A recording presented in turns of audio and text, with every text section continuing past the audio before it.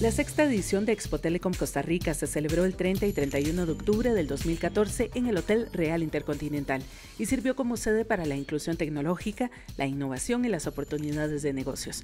La actividad organizada por Octámetro Centroamérica incluyó foros de discusión, conferencias comerciales, feria de exposiciones y una rueda de negocios organizada por la Cámara de Tecnologías de Información y Comunicación CAMTI.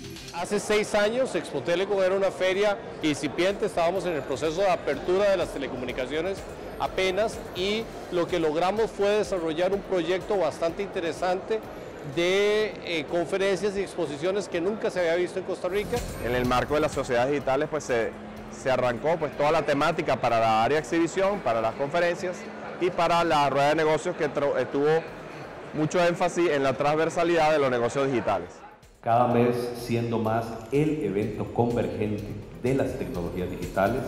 Analistas internacionales del sector de las telecomunicaciones compartieron su visión sobre la modernización de los estados, la inclusión digital, la construcción de ciudades inteligentes, inversión, tendencias, innovación de negocios, encadenamientos productivos y movilidad tecnológica. Un teléfono inteligente significa 50 teléfonos comunes. Y eso crea una tensión enorme en el tráfico de los operadores que tienen que invertir cada vez más sin embargo, los márgenes ya no son los mismos. Entonces hace falta una regulación que sea acorde. El mayor problema de crear sistemas inteligentes como ciudades inteligentes, dispositivos conectados y dinero digital el mayor problema con todo esto es que realmente es muy riesgoso para todos si no hay algún uh, estándar, si no hay seguridad.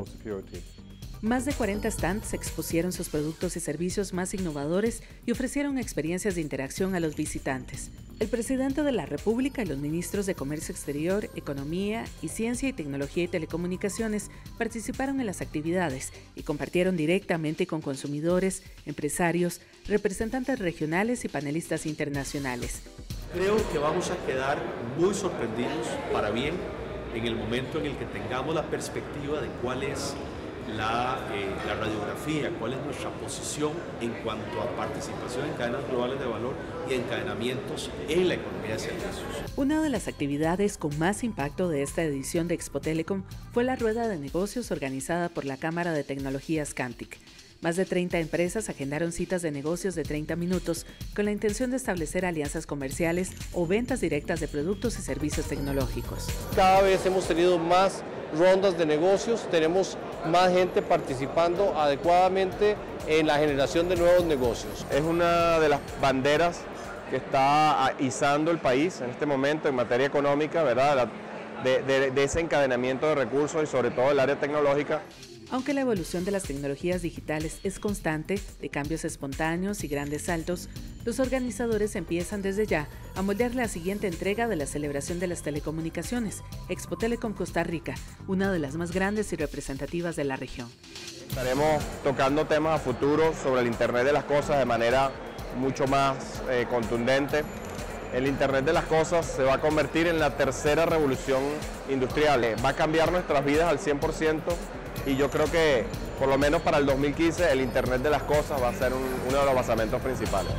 Expo Telecom apunta como referente comercial y de desarrollo a una sociedad organizada que comprenda las virtudes de las tecnologías y de las telecomunicaciones y saque el mayor provecho de ellas.